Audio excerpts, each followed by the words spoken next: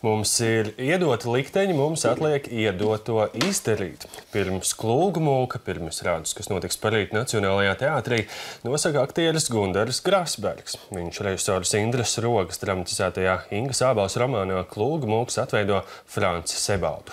Latviešu prozīķi Inga Abele romānā stāsta par pirmā latgales latviešu mācītāju Franča Trasuna romānā. Viņš ir Francis Sebalds un lidotāja Jezupa Baško romānā Jezups Sebalds.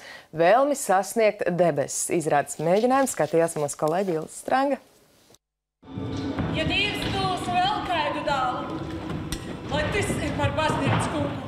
Tas ir tāds arī grūdienis tādiem mūsdienu cilvēkiem. Mums viss ir, mums mūsdienās viss ir.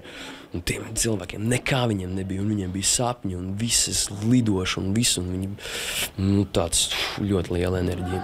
Režisora Indra Roga izrāda klūgu mūks veido kā saistošu stāstu par cilvēkiem, kur ticēja un darīja, par mūsu tautas sākumu un neprātīgāko sapņu piepildījumu. Izrādes centrā, kā vērienīgā dzimtas kokā, ir divi rakstnieci Singas Ābels romāna klūgu mūks varoņi - Francis Sebalds un Jēzus Baško. kā bija pareizi jādzīvo dzīve. Nu, ko nozīmē pareizi, bet nu, kaut kāds liktenis, kaut ko vajadzēja piepildīt, bet ir kaut kādas ļoti dziļi iekšējas lietas. Mēs jau visi, mani ieskaitot, visi dzīvojam tur darbam un idejām un vēl kaut kam un vēl kaut kam. Eh, Un tad paliek jautājums eh, par mīlestību. Un viņš pamanīja to, ko es nebiju pamanījis. Samīļīgajai sievietei līdzās dubļos augstajās bērnus. Viņš ieliecās un paņēma to bērnu uz rokām un nobālis kā svarbildē. Vēsturisko personu Frančs Trastun rakstnieks apveltījis ar Franča Sebalda emocionālo pieredzi, privāto dzīvi, spilgtām bērnības epizodēm. Franča dzīves stāstu izspēlē puikas gados Kārlis Reijers, brīdumā Gunārs Grasbergs. Līdz galam mēs nezinām, kas ir trasuns. Daudz eh, emocionāli akcenti, varbūt tie, kas parādīsies izrādē, eh, tie ir mazliet citi, nu, kas ir saistīti varbūt ar uh, sievietēm viņa dzīvē, par ko īsti neviens neko nezina. Un uh, par likteņiem, ar ko viņš ir saistīts. Un tur parādās tas viņa tas cilvēks, Francis Sebalds. Režisora Indra Roga, kura darba dramatizējusi galvenajiem varoņiem, ļauj dzīvot dažādos laika posmos un arī dažādos aktieros.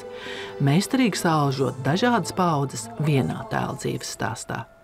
Ulris Siliņš piepilda Jēzupa Paško tēva, izrādē bērnībā Igors Šeligovskis sapni par lidošanu.